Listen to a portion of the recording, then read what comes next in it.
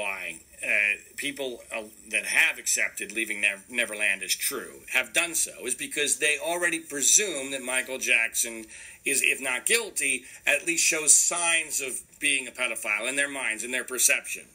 And I have to admit that I was one of those people who, who many, many years ago bought in that there has to be something there. And, and the main reasons for that were what I have found to be largely mythical uh, circumstances surrounding the initial allegations. I'm a big believer. You always have to go back to the first allegation. The first allegation tells you everything in a case like this. Because if it's not very strong, then there, that, mean, that leaves room for the subsequent allegations to, to be even weaker.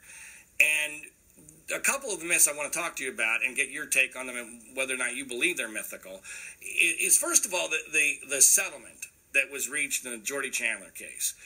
With, for huge amounts of money, it's been reported to be in the $20 million range. And for a lot of people, including myself, that's hard to wrap your brain around as to how that's not a guilty plea. Now, interestingly, as we speak, uh, your most recent high profile client, Bill Cosby, has been very upset that his insurance company has settled some claims that he, he does not believe are true, the facts don't seem to indicate are true, and that they've done this against his own wishes.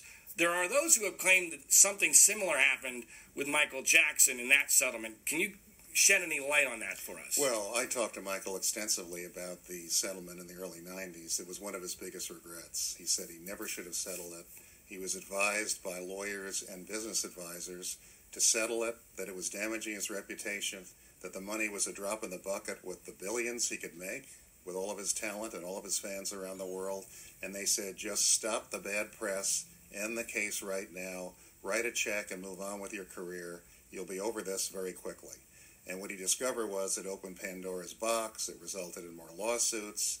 You know, I, I, I used to say, the feeling in Neverland was, you know, why work if you can sue Michael Jackson? I mean, he didn't like litigation. He didn't like going to court. He didn't like swimming around lawyers all the time.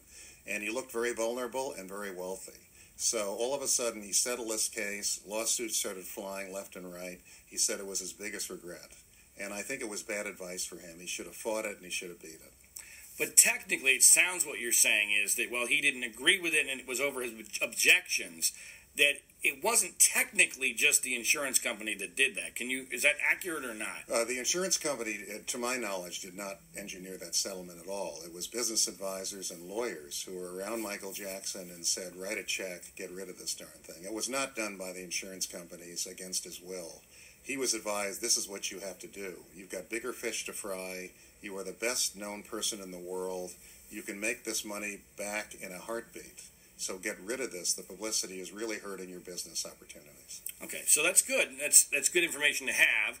I think it tells basically the same story, but in a, in a, in a different way. That that Michael Jackson was not in his own mind admitting guilt there. And, but for well, the average, uh, remember the settlement agreement specifically said he doesn't admit guilt. He doesn't right. admit any wrongdoing. But people people in the average world will look at whatever it was, $20 million in that range, and they go, well, my gosh, how could that not be admitting guilt? You have to put yourself in Michael Jackson's shoes. It was really a drop in the bucket by comparison with what he was worth and what he could earn, and he was advised repeatedly write the check, end it now.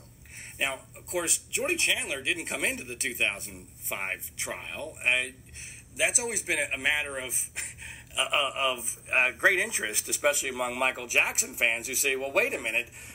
Why would you not be part of that trial? And there's always been a, a presumption that, that you had a lot of evidence ready to go to